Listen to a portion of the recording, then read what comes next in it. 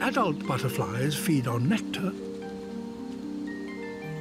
This sugar-rich food fuels their search for a mate.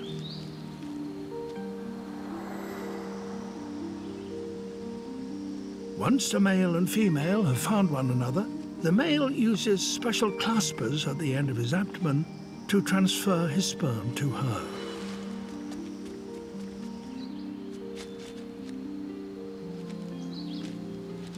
Once fertilized, the female Heliconius lays her eggs on the leaves of the passion flower plant. Her young, the caterpillars, are fussy eaters, and these leaves are almost the only ones they will eat.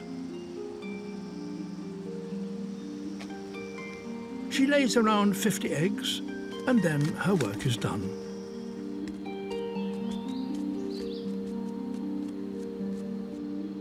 About a week later, the caterpillars emerge. They are little more than eating machines, and they get down to work immediately. Some, over a month or two, can grow to 40 times their original size.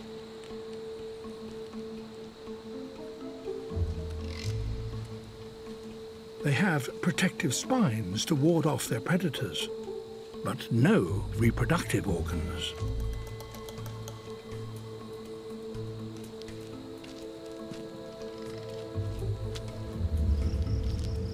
Then, when they've grown enough, their behavior changes.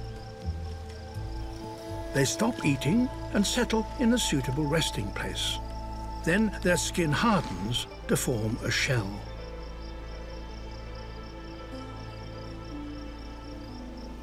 This is a chrysalis. If we could see inside, we would witness one of the most extraordinary changes in the animal kingdom metamorphosis.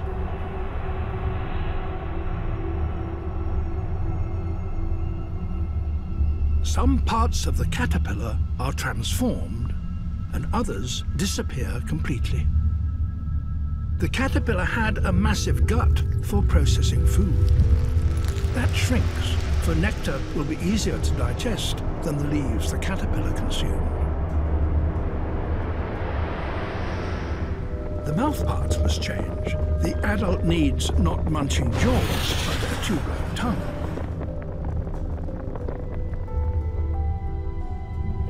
The caterpillar's simple eyes are also transformed. Searching for a mate needs better eyesight than finding leaves.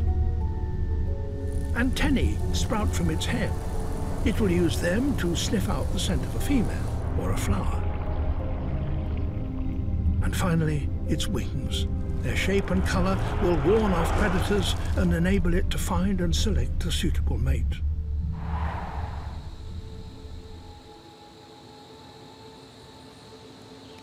An adult Heliconius butterfly emerges after eight days of transformation.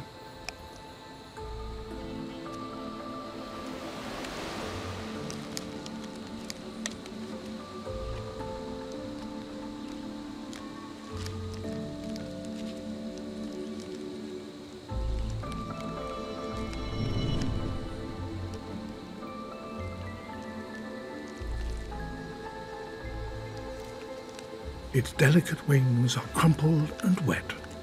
It stretches them by pumping blood along their veins, and then waits for them to dry before attempting to fly.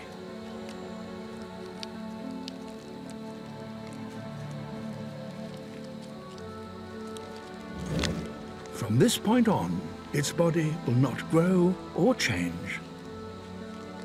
It will live for just a month or two and feed just enough to keep itself going.